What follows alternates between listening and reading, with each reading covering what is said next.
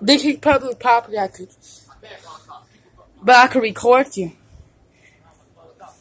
This guy was saying curse words at me for no reason. He was saying curse words at me. I got a channel. He was saying curse words at me.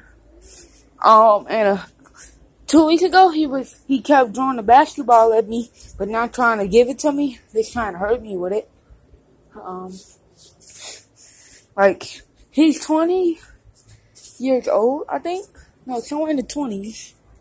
Um, and he threatens me a lot. So I'm gonna put this on YouTube and call the police.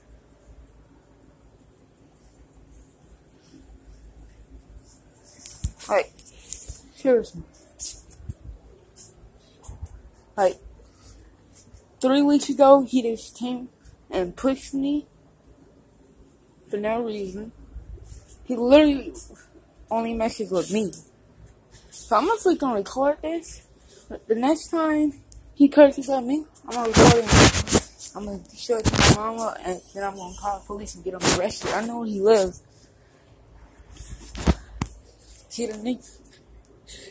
He coming up right there. Literally. hey.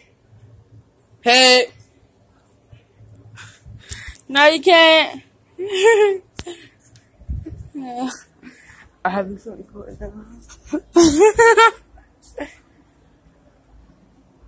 See, I have this on record. I'm gonna put it on my channel if you do stuff to me. See, I got I got evidence for the police to arrest you. Dumb dumb. Think I'm not stupid enough to record you.